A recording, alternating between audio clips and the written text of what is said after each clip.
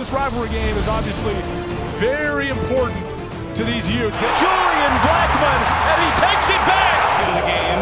Oliver Heathball, the motion man. Hadley avoids negative yardage, bounces off a defender, and cannot keep his feet.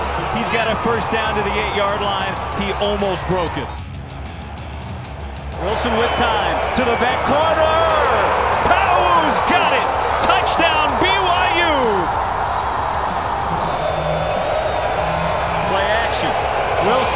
There is Bushman. He's got it, and he's down at the one-yard line. Touchdown BYU. He made it in. Here is Wilson keeping it.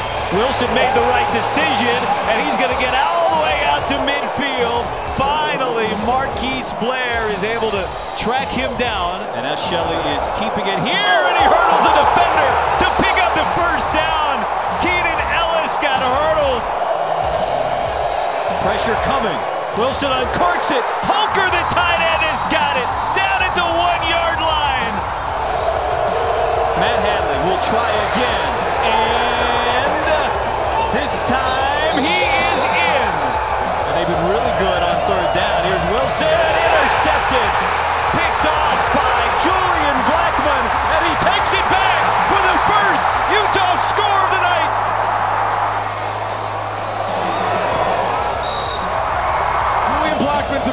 Drive on this football on the in-breaking route from the receiver, Neil Pau'u.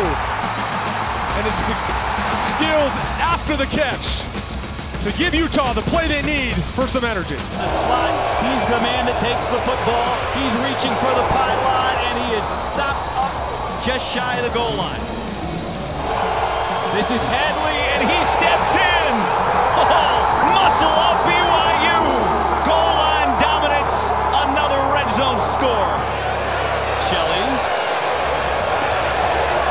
He's going to run it, he's going to safely take it out of bounds. But Samson Nacua is. He's in the slot. They're going for him. There he's got it. Touchdown, Utah. Shelley. Lawson. Downfield. Mariner's got it. Can he get there? Mariner down inside the 10.